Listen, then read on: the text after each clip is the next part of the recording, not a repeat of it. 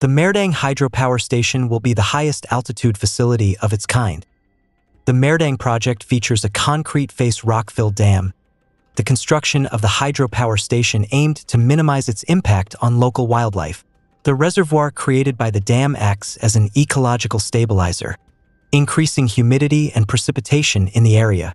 Sited at more than 16,000 feet above sea level in northwest China's Qinghai province, came online on April 1, 2024, with the initial unit's 550 megawatts of generation capacity expected to provide 13.2 GWh of electricity daily. It can transmit about 15 billion kilowatt hours of clean electricity every year, facilitating the use of water resources and clean energy development on the upper reaches of the Yellow River. The Maerdang power plant symbolizes China's innovation and commitment to renewable energies by exploiting extreme altitudes and integrating advanced technologies.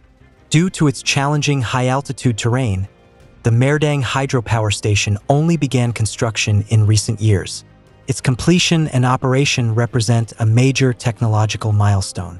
China aims to build more than 200 pumped storage plants with a combined capacity of 270 gigawatts by 2025. At the end of 2023, China's pump storage capacity reached 50.9 gigawatts.